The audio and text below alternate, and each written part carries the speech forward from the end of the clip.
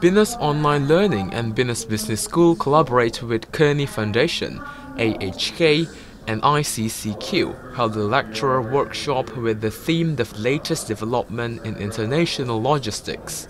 This workshop was held on Friday, 21st of September 2018 at Binus Alam Sutera and was attended by Binus University lecturers and invited guests from national level industries.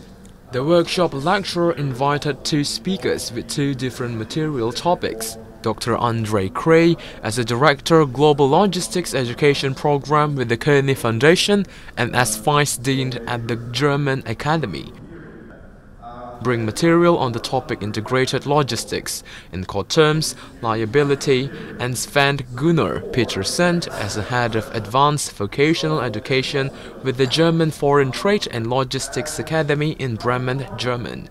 Bring material on the topic in logistics and logistics globalization. The participants were very enthusiastic and took good care of the topic presented. In addition to giving material by the two speakers, the participants also participated in a series of discussions on the topic of logistics in Indonesia, opportunities and challenges international logistics development.